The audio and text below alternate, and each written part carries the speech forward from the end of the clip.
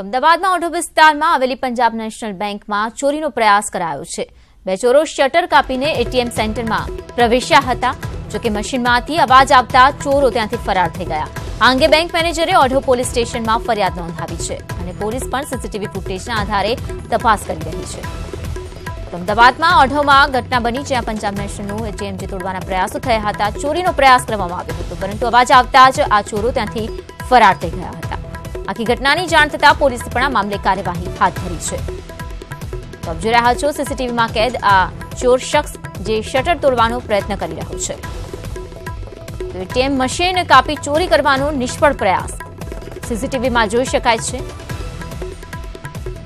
તમામ પ્રયત્નો કરવામાં આવ્યા હતા ચોર તરફથી અને ચોરીને ઘટનાને અંજામ આપવાનો હતો, પરંતુ આ ચોર તેમાં નિષ્ફળ રહ્યો. વધુ માહિતી આપશે સંવાદદાતા દીપક. દીપક, ઓઢવ વિસ્તારમાં જે એટીએમ ચોરવાનો ચોરવાનો પ્રયત્ન થયો હતો, શું રહી છે આખી ઘટના અને સીસીટીવી ફૂટેજના આધારે શું કાર્યવાહી?